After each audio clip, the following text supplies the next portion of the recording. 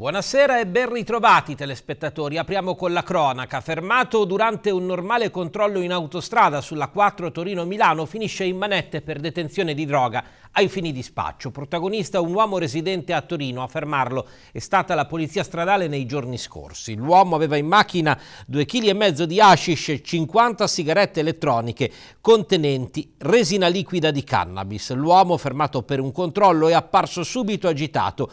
Durante la perquisizione gli agenti hanno trovato nascosti in un borsone 2,5 kg di hashish suddivisi in 25 panetti e 50 sigarette elettroniche contenenti resina di cannabis. Gli agenti hanno accompagnato l'uomo a casa per perquisire la sua abitazione all'interno hanno trovato anche 1300 euro in contanti provento dell'attività di spaccio. Sono in corso ulteriori indagini.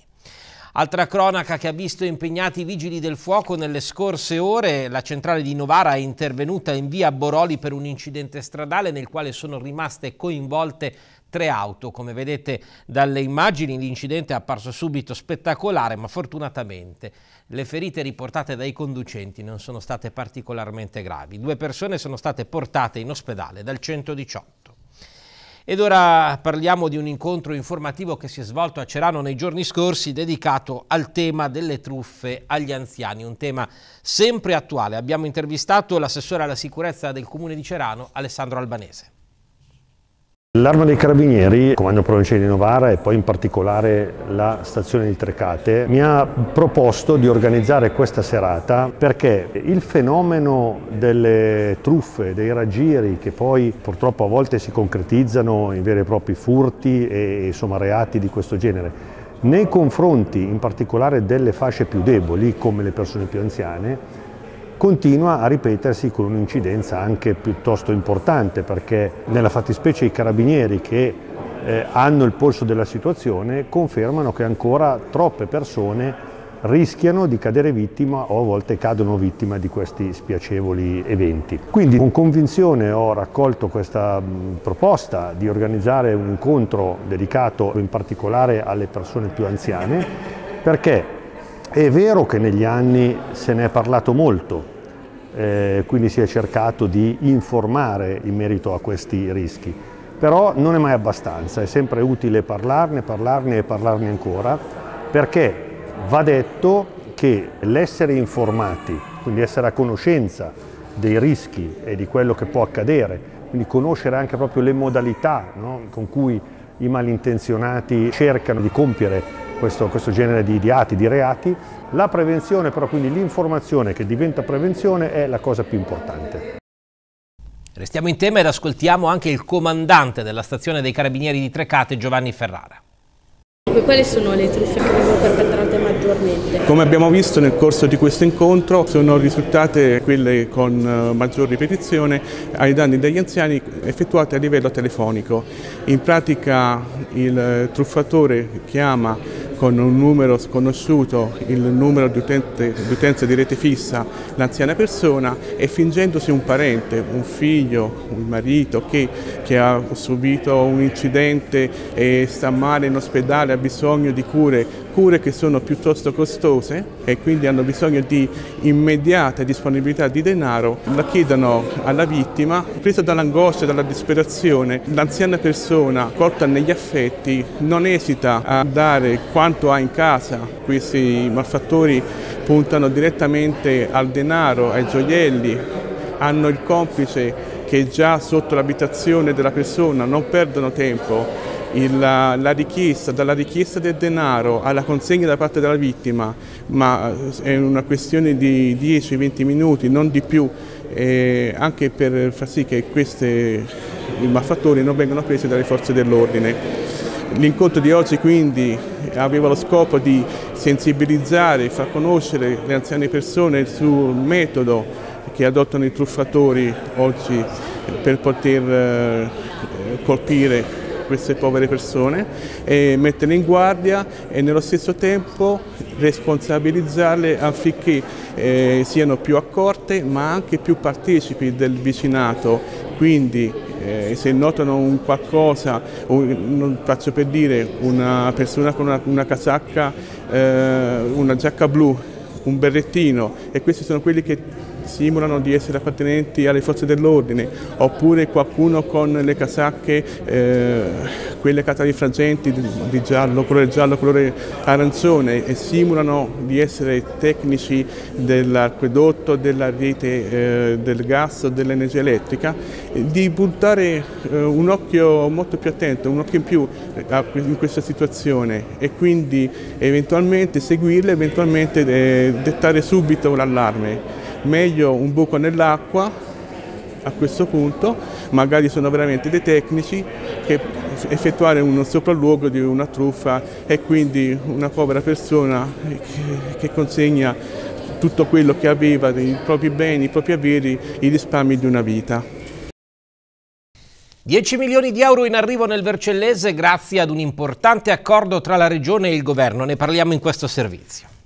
Sono arrivati nel Vercellese complessivamente 10 milioni di euro da suddividere su 56 comuni erogati dalla Regione Piemonte per la valorizzazione dei comuni piemontesi, per i quali sono stati stanziati in tutto 105 milioni di euro destinati a 805 comuni suddivisi in 24 aree omogenee. Dei 53 comuni vercellesi beneficiari dei 10 milioni, ben 49 appartengono all'area Borghi delle Vie d'Acqua, finanziata complessivamente con 7 milioni di euro.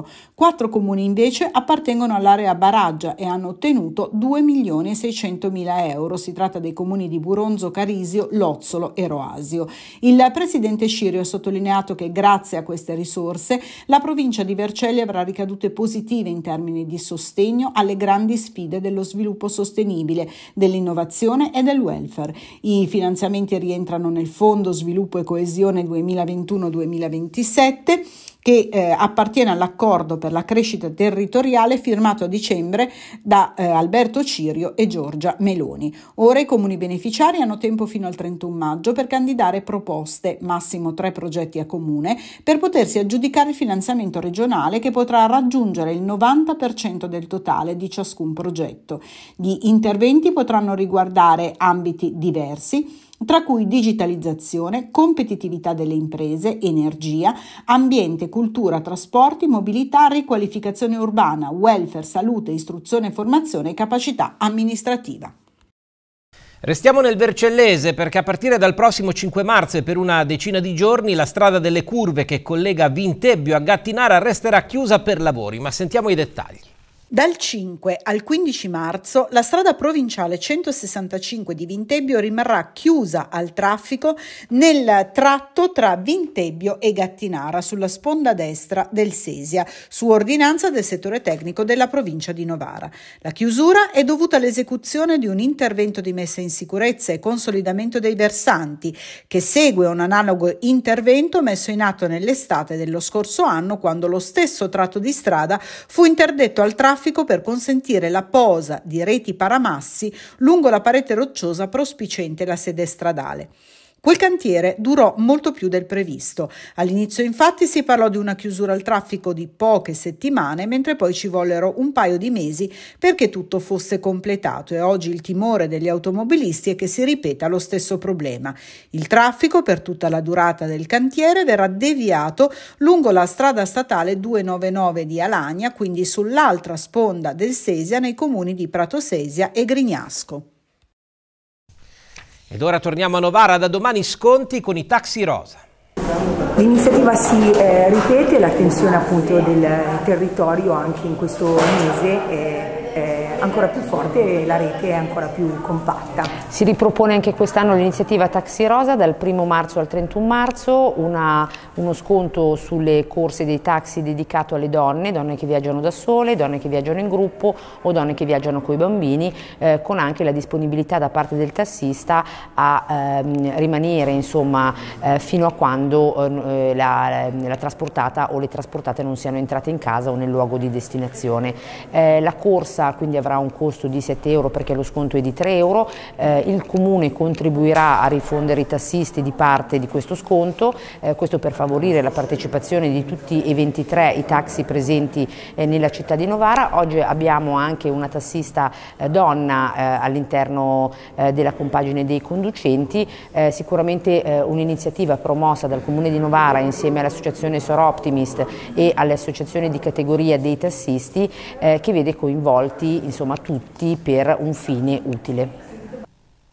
Parliamo dei nostri amici a quattro zampe e di alcuni incontri organizzati in città. Il Comune di Novara, in collaborazione con EMPA, Gogo Dog e LIDA, promuove l'iniziativa intitolata Quattro zampe a Novara, una serie di incontri dedicati agli animali d'affezione. Alla luce delle numerose adozioni che vengono effettuate durante l'anno al nostro canile, pensiamo sia importante la consapevolezza e la conoscenza di alcune regole fondamentali per accudire nel migliore dei modi gli amici a quattro zampe. Gli incontri promossi sono rivolti a coloro che già possiedono un cane ma che vogliono anche approfondire alcuni temi insieme a professionisti ed esperti.